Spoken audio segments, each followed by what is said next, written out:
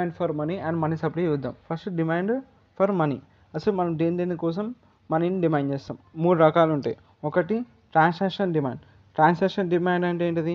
Money needed for make purchases ఏమైనా purchase చేయడానికి money కావాలి కదా అది వచ్చేసేసి ట్రాన్సాక్షన్ డిమాండ్ కిందకి వస్తుంది.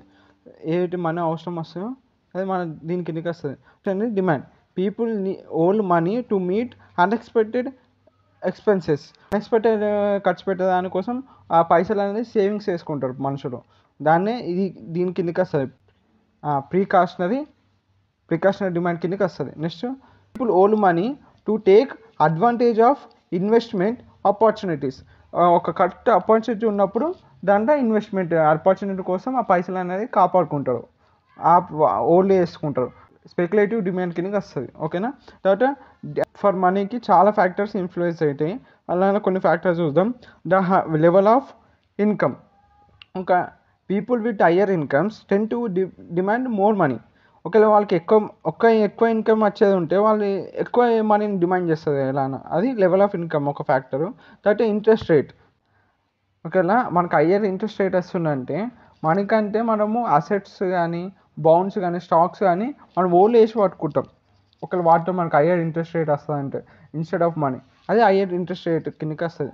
తర్వాత the expected rate of inflation ఒకవేళ ఫ్యూచర్లో మనకి ఏమైనా ఎక్స్పెక్ట్ ఇన్ఫ్లేషన్ రావచ్చేమో ఒకవేళ ఎక్స్పెక్ట్ చేసినాం అనుకో మనీని ఇప్పుడు నుంచే మనము స్టోర్ చేసుకుంటాం. ఓల్డ్ చేసుకుంటాం.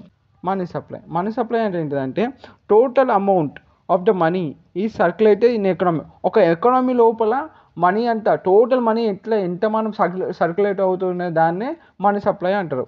It is measure of liquidity of a economy ఒక ఎకనామీ యొక్క లిక్విడిటీని ఇది మెజర్ చేస్తారు? Can be measured in variety of ways కొన్ని వెరైటీ ఆఫ్ వేస్లో మెజర్స్ కూడా చేయొచ్చు.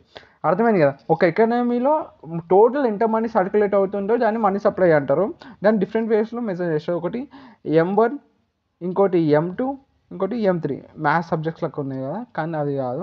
ఎం వన్ అనేది నారో ఇట్లా narrow measure నారోగా most narrow measure of money SERP ఈ నారోగా మెజర్ చేస్తారు మనీ సర్ప్ని ఇదేంటిది? బ్రాదర్ దీనికంటే బ్రాదర్గా మెజర్ చేస్తారు ఎం టూ ఎం త్రీ ఏంటిది? బ్రాడెస్ట్ దీనికన్నా బ్రాడెస్ట్గా మెజర్ చేస్తుంది మనీ సప్లైని ఎం వన్ దేంట్లో ఏం జరుగుతుంది అంటే it includes the cash and deposits that can be easily converted to cash such as checking accounts and savings ఇవన్నీ సేవింగ్ అకౌంట్స్ కానీ చెకింగ్స్ కానీ easily can be converted into cash కదా.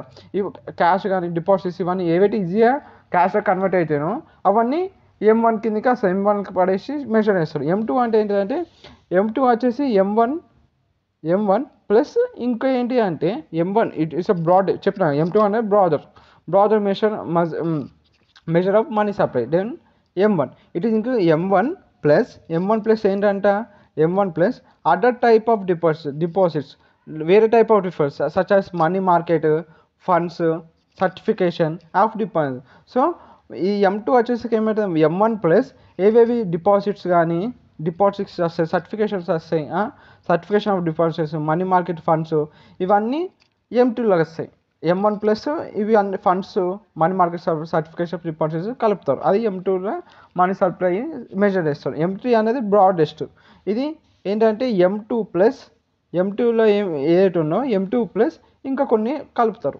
It is the broadest measure of money supply M three అనేది broadest way so it includes the M two M two plus ఏంటంటే other types of assets such as repurchase arguments over night deposits of at bank దాంతోపాటు repurchase ఏవైతే agri agreements ఉంటాయో ఇంకా overnight deposits at bank ఉంటాయో అవి కలిపి ఎం త్రీని measure చేస్తాయి ఎం త్రీ ద్వారా మనీ సప్లైని మెజర్ చేస్తాం.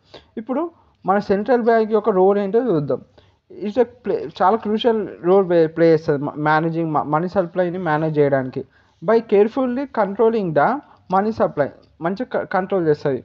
The central bank can try to achieve the policy goals policy గోల్స్ని achieve చేయడానికి ట్రై చేస్తుంది. Such as stable prices and full employment ఇది దీని చాలా క్రూషియల్ ఉంటుంది సెంట్రల్ బ్యాంక్ ఇది ఏం చేస్తుందంటే పాలసీ గోల్స్ని అచీవ్ చేయడానికి ఇంకా ప్రైజెస్ అన్ని స్టేబుల్గా ఉండడానికి. ప్రైజెస్ అన్ని స్టేబుల్గా పెడితేనే కదా మిడిల్ క్లాస్ వాళ్ళు కూడా కొనగలుగుతారు.